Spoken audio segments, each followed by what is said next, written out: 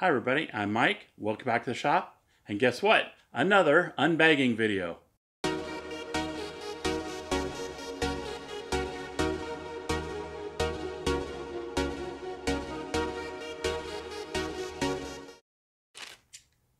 Now, as a disclaimer, I paid for this item. They did not send it to me free, nor did I get any coupon to get it cheaper.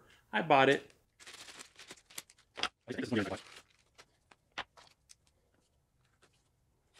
Kind of fancy. They put it in a box once. Normally, everything you get is just wrapped in plastic or some kind of padding. It's not often you get a box. And there we go, this cute little triangle. It's actually smaller than I thought it was going to be. So this is something I've been wanting for a very long time is I need more accurate squaring devices. Now, my number one complaint at Banggood, you've probably heard me say before, is everything's in metric. Well, this item actually has imperial measurements on it.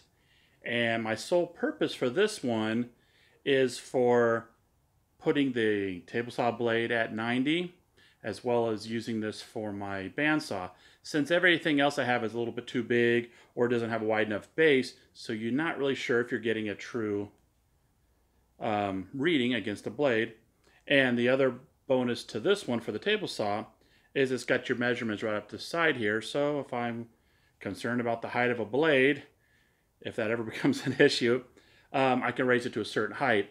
But the other reason I was thinking about these measurements was for on the router table. When I'm trying to set the bit height to a specific size, it's real awkward with everything else I have. And especially when you're trying to put a ruler right next to the blade and you've got the opening where the bit is, it's a little hard to get an accurate reading. With this, it should be wide enough, it'll span the hole, and I can line up right to the side. So as you can see, there are measurements up and down both sides. Uh, not very much of a range, so I don't know that you would really need to use that, but you never know. You just need a quick little, need to know you're coming in an inch.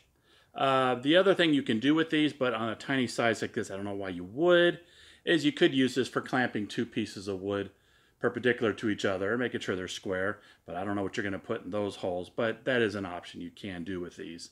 This side's got your Imperial, and it looks like this size, they do have metric still. So there you have it.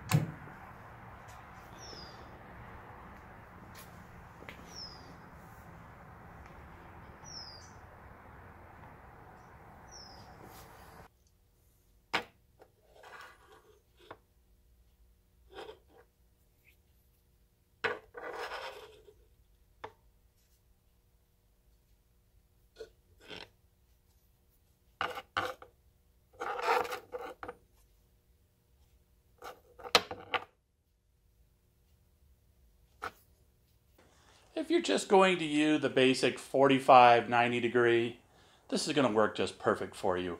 And what I like most about it, which is what attracted me to it, is its size. It'll quickly fit in your pocket. You can bang it around and have to worry about knocking out any kind of calibration or damaging sensitive electronics. In my case, I have a table saw that constantly knocks itself out of adjustment. So what this will afford me is that I keep it in my pocket or my tool vest, and as I'm cutting, I'll just keep periodically checking against the blade, making sure it hasn't walked out of the adjustment a little bit. It tends to do that quite often.